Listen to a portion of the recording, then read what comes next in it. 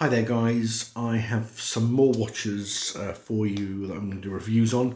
Uh, really excited about these because they are just fresh out from Seiko and um, thanks to the guys at uh, Starbuy for loaning these to us because uh, like I say they, they've literally just arrived in their office and um, they're kind enough just to, uh, to give these to me for a review. So I just wanted to give you a little bit of a taste of what's coming up on the channel uh, over the next few days and um, without further ado let's crack on. So, uh, first things first, I've got three watches here that are all in the same design um, style, but uh, different in terms of their color colorways. So, first of all, we have the SRPE 65K1, which is a military style watch. Reminds me of the Alpinist a little bit here, but uh, like I say, that's uh, new from the Seiko 5 range. Same style model, but we have the SRPE 69K1. This is a Darth or Stealth version, so exactly the same uh, case and uh, face, but just blacked out and PVD'd on a black NATO. That's uh, very, very nice. Now we have the dress version, and for some reason this sort of reminds me of a mix between, uh, you know, the parentage of a Omega Aquaterra and a Tudor. Um, you know what, put, put in the, the comments below whether you agree with me or not, but I don't know, I, I just see a mixture of Tudor and Omega here, uh, and it is. It's exactly the same uh, in terms of the, the case design, um, but it is a rose gold and steel two-tone watch. Uh, like I say, you know, even, you know, you look at the case there, there's, there's sort of elements of Rolex there in terms of the, you know, the side of the case but uh, I think this one's going to be a really good seller. Um, anyway, that's those ones. Uh, moving on, but still on the Seiko side of things and Seiko 5. Uh, this one, you know what, this one's for the fairer sex, I'd say. Um, I, yeah, well, you know what, I'll just show you. Uh, it's that. Um, little bit Michael Corsi. Uh, I don't know.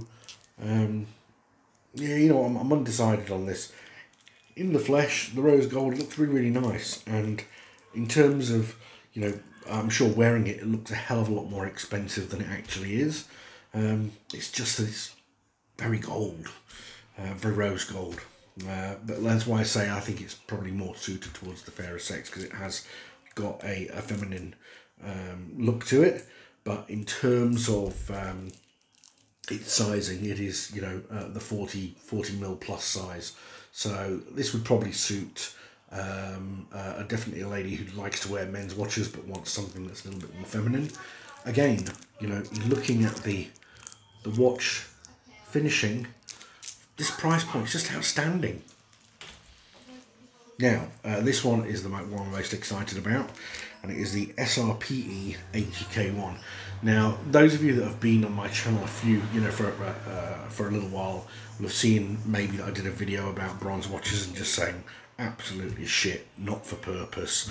You know, why would you make a watch out of a material that just, you know, is is is just not compatible with seawater? Now, Seiko seem to have done something pretty smart here. I'm not sure, but I'm, well, I'm pretty sure this is steel, uh, but it has a bronze effect to it, um, and has a beautiful, like I say, I'm going to get the photos, some really high-res pictures up, so you'll see the, the dial. Uh, it's got a pattern sort of dial to it, and it's on this faux leather with a silicon-backed strap. Um, but you know what? I'm, I'm really excited about this watch. I think this thing is going to fly off the shelves.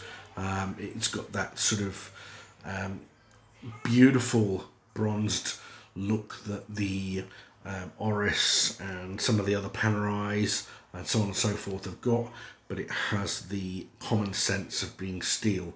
So I don't think this is going to have that bloody horrible green patina uh, if you show it anywhere near seawater. Also comes with the clasp uh, same sort of bronze finish on it. Um, so we're going to take a good look at that. Um, that is it for the time being, guys. Uh, like I say, I will uh, endeavour to get these up for you one by one as quickly as possible. Uh, please put some comments down in the uh, the bit below if you want anything in particular that you want me to cover off. I know somebody uh, said they want to have a look at the lume, so I'll try and get that done. Um, but yeah, otherwise, guys, thank you so much for your time. Um, appreciate everything that you guys do in terms of supporting the channel. Uh, stay healthy, stay safe. Where you watch us in the best of health, guys. See ya.